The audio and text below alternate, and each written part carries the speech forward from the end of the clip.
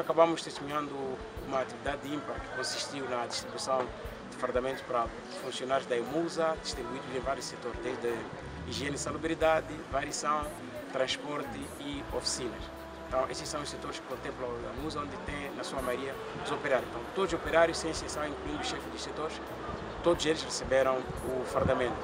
Afinal de contas, para que esse fardamento? Se formos a reparar, alguns deles, na maioria dos fardamentos que eles têm, já perdeu aquilo que é a qualidade. Então, o Conselho Municipal, através da EMUSA, achou por bem adquirir um novo par de, de fardamento no sentido de podermos promover aquilo que é higiene e segurança do trabalho e bem como a promoção da boa imagem do, do Conselho Municipal. Basicamente, foi isso que aconteceu.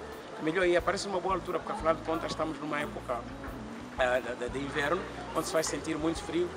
Como sabes, a natureza do trabalho da maioria de nós é de acordar muito cedo. Então, para além de servir como fardamento, também pode nos proteger nessa altura de frio em que nós estamos. Então, é onde nos encontrou para eh, ar, para oferecer os seus funcionários.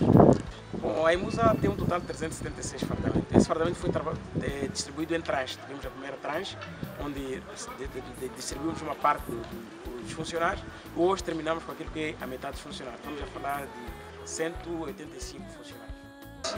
Estou à vontade, estou feliz porque quando estou a trabalhar com fardamento, sou trabalhador do município.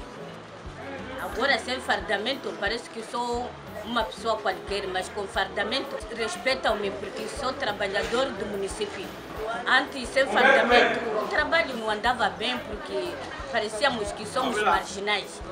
Agora sou trabalhadora do município e sinto-me orgulhosa.